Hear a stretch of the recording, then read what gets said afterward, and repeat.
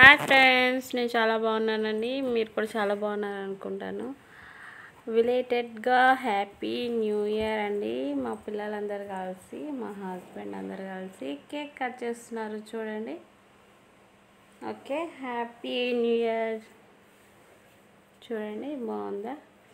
చిన్న క్లిప్ ఓకేనా cool cake కదా? కూల్ కూల్గా ఉంది. తినడానికి కష్టంగా ఉంది వాళ్ళకి. మమ్మీ. మ్మ్. చాలా చాలా. ఎమ్మి ఎమ్మి కేక్ ఓకేనా?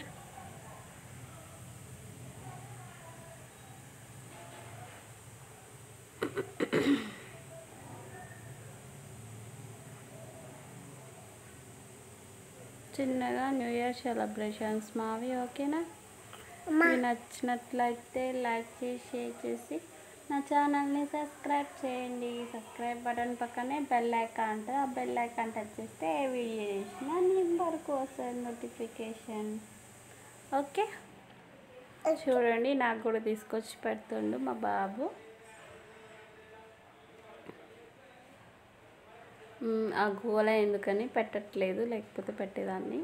వాళ్ళు గట్టి గట్టిగా కిక్కలేస్తున్నారు. పక్కన సాంగ్స్ వస్తున్నాయి. అందుకని పెట్టట్లేదు. డీజే పెట్టారు పక్కన. హ్యాపీ బర్త్డే యూ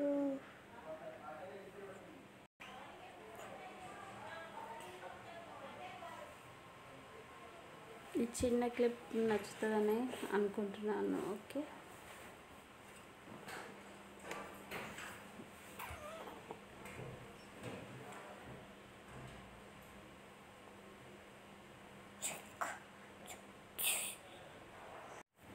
చూడండి అదే రోజు న్యూ ఇయర్ మార్నింగ్ ఇది క్యాప్సికమ్ కర్రీ చేస్తాను మా హస్బెండ్కి లంచ్ బాక్స్లకి ఇంకా వంట స్టార్ట్ చేశాను. మార్నింగ్ మార్నింగే ఇంకా ఆఫీస్కి వెళ్ళాలి కదా. ఒక బండిది పెట్టేసి స్టవ్ ఆన్ చేసుకొని మనం ఇప్పుడు నూనె వేసేసుకోవాలి. బండి హీట్ ఎక్కుతని. ఫస్ట్ మనం శనగపప్పు అదే పోపు దినుసులన్నీ వేసేసుకోవాలి. మ్మ్. పోపు దినుసులు వేసుకుంటేనే కొంచెం ఆనియన్ వేయాలి. ఆనియన్ ఇప్పుడు చాలా కష్టం ఉన్నాయి కదా అందుకే కొంచెం వేసాను. ఎంత ఆనియన్ వేసుకుంటే అంత టేస్టీగా ఉంటుంది. దాంతోపాటే వెల్లుల్లిపాయలు వేసాను ఒక రెండు మూడు. టేస్ట్ బాగుంటుంది. కుదిరితే మనము ఒక చిన్న అల్లం ముక్క వేసుకుంటే కూడా టేస్ట్ బాగుంటుంది ఫ్రెష్గా ఉంటుంది. కొంచెం ఆయిల్లో వేగితే అదొక రకమైన టేస్ట్ వస్తుంది.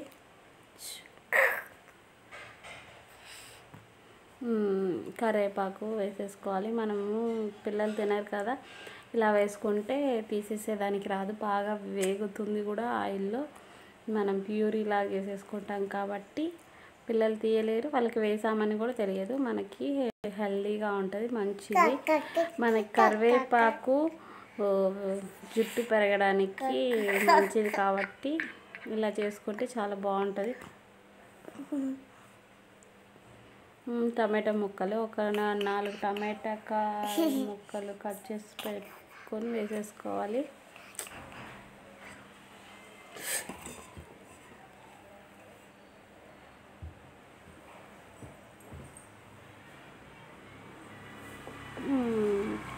ఉప్పు పసుపు వేసేసుకొని వేయించుకోవాలి. బాగా వేయించుకొని మనము మెత్తగా అయ్యాక అంటే టమాటా ముక్కలు సాఫ్ట్ అయ్యేంత వరకు వేయించుకోవాలి.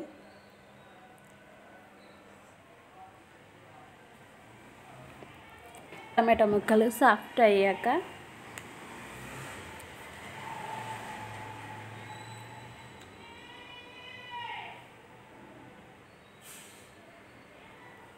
మూత పెట్టేసుకొని రసేపు ఉడకనించాలి. ఆ మధ్యలో కొంచెం ఒక నిమ్మకాయ చిన్న నిమ్మకాయ సైజులో చింతపండు నేను కడిగి వేస్తున్నాను. ఇది చాలామంది అన్నారు చింతపండు కాళ్ళతో తొక్కేస్తారు అని మట్టి అంతా ఉంటుందని. అందుకని నేను చిన్నప్పుడు ఎప్పుడు వంట చేసినా కూడా ఇలాగే వేసేసుకుంటాను కడిగి. ఇప్పుడు అది వేగిపోయింది పక్కకి తీసి పెట్టేస్తాను. ఇంకొక బాండీలో ఆయిల్ వేసుకుంటున్నాను. గుత్తి వంకాయ కర్రీ కదా దీనికి కొంచెం ఆయిల్ ఎక్కువే పడుతుంది. ఆయిల్ ఎక్కువ వేసుకోవాలి. ఒక హాఫ్ స్పూన్ ఎగస్ట్రా వేసుకుంటే బాగుంటుంది ఓకేనా? ఇది కర్రీ పేరు చెప్పలేదు కదా క్యాప్సికమ్ గుత్తి కాక క్యాప్సికమ్ కర్రీ. ఇప్పుడు పోపు దినుసులు వేసేసుకొని ఆనియన్ వేసుకోవాలి. దాంతోపాటు నేను వెల్లుల్లి రెబ్బలు కూడా ఒక రెండు కట్ చేసి వేసేసుకున్నాను. మొత్తం వేయించుకోవాలి. వేగాక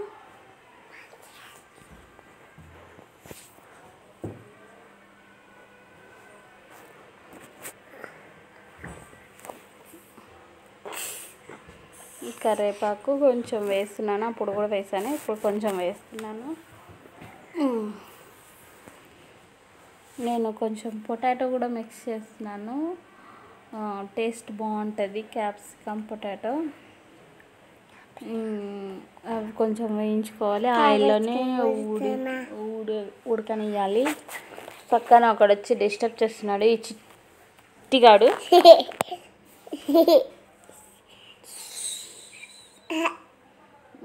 కొంచెం పసుపు కొంచెం ఉప్పు వేసుకోవాలి. ఎందుకంటే ఆలుగడ్డలకి కూడా కొంచెం ఉప్పు పడితే టేస్టీగా అనిపిస్తుంది.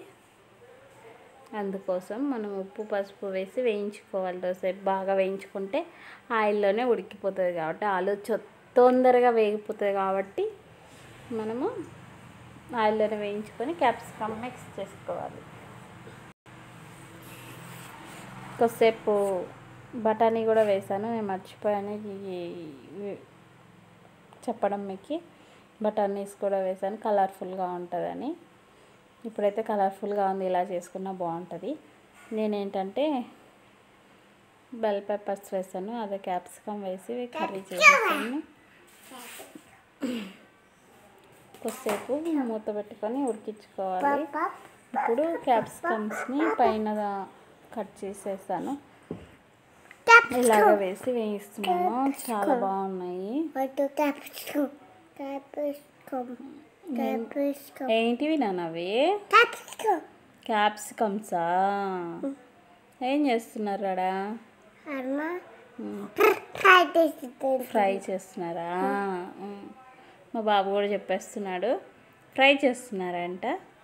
చూడండి ఫ్రై అవుతున్నాయి. క్యాప్సికమ్స్ కూడా కొంచెం మగ్గు మగ్గడానికి వస్తున్నాయి. మన అంత లోపలే దాన్ని ప్యూరీ చేసుకోవాలి. చల్లార్చుకున్నాం కదా. దాన్ని ప్యూరీ వేసేసుకోవాలి. అంతా కలిపి ఒక టూ మినిట్స్ వే సైలెంట్. ఇప్పుడు అంతా వేసి మిక్స్ చేసుకోవాలి. మిక్స్ చేసుకొని అట్లే కొద్దిసేపు వేయించాలి ఆయిల్లోనే అలాగే. వేయించుకొని ఒక రెండు నిమిషాలు మూత పెట్టి మనం వాటర్ ఎంత లిక్విడ్ కావాలో అన్ని వాటర్ వేసేసుకోవాలి. మన గ్రేవీని బట్టి వాటర్ వేసేసుకోవాలి.